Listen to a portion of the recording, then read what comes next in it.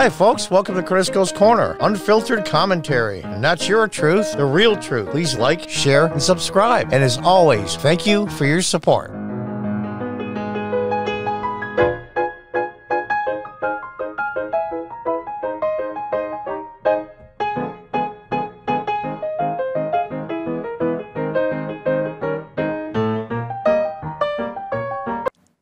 Hi, folks. Welcome back to Cordisco's Corner from PG Media. PJ Media. I always have a hard time with that. This is a great site if you're a conservative. If you're not, trigger warning alert. Uh, it's a, it's a feature I didn't know they had until I saw it here. They call it the Instant Insanity Wrap. And this is episode 169. So, but believe me, there's a lot of sinning to go around. It's all over the place, not hard to find. But what's nice about this is the fact they put it all together for you, so it makes it really convenient to breeze through them. Bill de Blasio promises to use NYPD to, to fight thought crime. Insanity Wrap needs to know when is it police intimidation, not police intimidation? Answer when they're establishing unity, whether you want it or not. Before we get into sore details, a, a quick preview of today's wrap. White House cracks down on pot smokers, quantum computers erases Joe Biden and purchases Chevy Chase. It's um Professor physics professor wants to ban the term quantum supremacy. Can you guess why? If you need more than one guess, you must be new to insanity wrap. The reason indeed exactly what you think it is. A new opinion editorial published by Scientific American, co-authored by physics professor. This is real science physics. Durham St. Anselm College in Manchester, New Hampshire. It's surprising. Vermont, I would expect it. New Hampshire, eh. I argue the term quantum supremacy should be abandoned because it shares the word with white supremacy. Oh. oh, I'm going to doing a lot of sound effects on this one. They're wrote that given the lack of diversity in physics and computing, the use of quantum supremacy can come across as adding insult to injury. Well, we gotta. the piece suggests the use of quantum primacy instead. By that logic, the progressive left should stop using the phrase anti racism because it shares racism. And you can read the rest of it there. We'll go to the next one, because there's quite a few. On the other hand, job security. The world will end soon. This time we swear. You might remember last year a study was published arguing that hurricanes were staying stronger longer over land, looking at 1967 and 2018.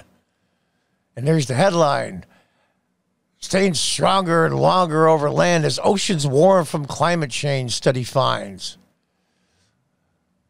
New study shows that a, a lot a longer time period, 1900 2019, finds over the period of record that storms are actually weakening faster even after removing outliers. There's no significant linear trend throughout the whole 120 year period.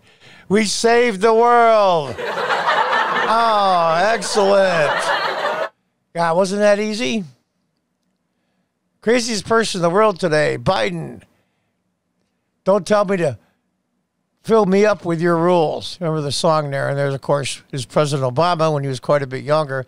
Which I don't have a problem with smoking weed when he was younger. I could care less. But listen to this. Today's craziest person in the world is anyone still thinking that the culturally intolerant and increasingly doggerting gang of septuagenarians and octogenarians led anything resembling a party of youth. Yeah, no kidding. I'm 64 and I'm young compared to these guys. Democrats, whatever they are, ain't that. Well-educated young people are their shock troops and useful idiots and nothing more. Anyway, Isley Rep couldn't deny you the useful details. Here we go. Dozens of White House White House staffers have been suspended and asked to resign or placed in a remote work program due to past marijuana use. Wah, wah, wah. Frustrating staffers were pleased by initial indications from the Biden administration that recreational use of cannabis could not be immediately disqualifying for would be personnel, according to three people familiar with the situation. The policy had, has even affected staffers whose marijuana use was exclusive to one of the 14 states in the District of Columbia where cannabis is legal. Sources familiar with the matter said a number of young staffers really put on probation or canned because they revealed past marijuana use in an official document they filled out as part of the lengthy background check for a position in the Biden White House. In some cases, staffers were informally told by transition higher ups ahead of formally joining the administration they would likely overlook some past marijuana use, only be asked later to resign. So you see the rest of the article there. Maybe we can hear some mid level Biden functionary explain, you should have just said no. oh, I gotta. I gotta do a laughing. So you can read the rest of that. Let's move on to the next article. Your daily dose of mandated unity. Those who commit hateful but non criminal conduct should be confronted by the NYPD, de Blasio says. I assure you, if any NYPD officer calls or shows up at your door to ask about something you did that makes people think twice, we need that. Well, so if an African American gentleman puts up a F the police or F whiteness, it is perfectly acceptable for the police to go and try to intimidate him. Folks, this is a thought police. I'm gonna I'm gonna give it to spooky. I'm gonna give it to spooky uh thing here. I'm going to get a double spooky. Can you imagine? And the sad part is, a lot of these police departments are getting it as the younger people come in, and they've been they've been brainwashed with this crap since they were in third grade or before. Even if someone something is not a criminal case, a perpetrator being confronted by the city, whether it's NYPD or another agency, like what? What the Mister Rogers uh, uh, squad, and being told that what they done was very hurtful to another person and could, if ever repeated, lead to a criminal charges. That's another important piece of the puzzle. De Blasio said, "You got to be effing kidding me." Officers de Blasio continues should evaluate if someone has done something wrong, even if it's not illegal or criminal, and take action from there. Hey, where's the ACLU? Where's all those guys used to defend this stupidity? Where are they? Here is the ACLU's uh, response to Mayor de Blasio. Crickets. Oh God, let's just read the rest. You can read it there, uh, the rest of it there. But and now for a brief moment of sanity. Oh no, we don't want that. Your vaccinated kids is is like a vaccinated grandma. Unvaccinated kid, I should say. And they go on to say that kids are more way less likely to get the COVID nineteen, so it's okay. They go back to school. Okay, fine. Let's see the next one here. Your daily dose of, of nonsense. Daily briefings from the White House. Oh, gosh. Uh, I don't see the. Oh, there's the video there. oh, crap. That's funny. That is hysterical. Here's another damn thing we're supposed to be concerned about. Biden trips three times trying to climb stairs to Air Force One.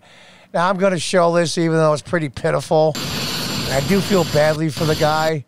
He is my president, even though I would never vote for him if he ran unopposed. I mean, where where's the where's the military and where's the security guys and the Secret Service coming up the stairs to help this guy? He's 150 years old. Okay, come on. As, as, as the President Biden would say, come on, man. One more thing. This is a great photo, by the way. We shouldn't have laughed, but we did. That's the wrap for today. Come back tomorrow for another Insanity Wrap. So if you want to see a daily Insanity Wrap, go to pjmedia.com. And I love this. This, it was white supremacy, and any crime, of course, will fit into that white supremacy category. And there's the media filming it. Now, if I'm not mistaken, the young lady has her left hand up and actually has, that her middle finger going up? So I guess the point is the mattress can't fit into the door, and that's any crime. That's the metaphor. And it's white supremacy. So even if it isn't white supremacy, it makes no sense that it's white supremacy. You still call it white supremacy. I get it. Is pretty funny though. It's a great video.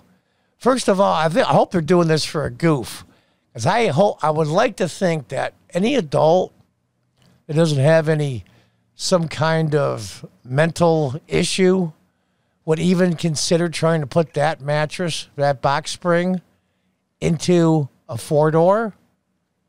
Now, maybe I'm stupid, but there you go, folks. That's the insanity wrap from pjmedia.com. Now I'm gonna have to go to this site a lot more often because this uh, that's that's a great picture. I remember that one, and I could care less. He was a kid. Who cares? And by the way, those staffers that got fired from the White House and their openness and inclusion and diversity, these people were smoking marijuana in states in the District of Columbia where, wait for it, it was legal. And now, if you're mean to somebody, it's not a crime, but you can still be charged if you do it repeatedly. Oh my God. How about this crime, Mary de Blasio? You are a freaking moron. M O R uh, O N. Excuse me. Forgot how to spell moron. Incredible. A crime scene tape. anyway, folks, I thought you'd get a kick out of uh, I found this here, and I'll be going to PJ Media quite often now to check out the stupidity on the progressives and leftists in our country. And I have to laugh because if you took it seriously, it would make you cry like a baby. And until next time, folks, goodbye and good luck.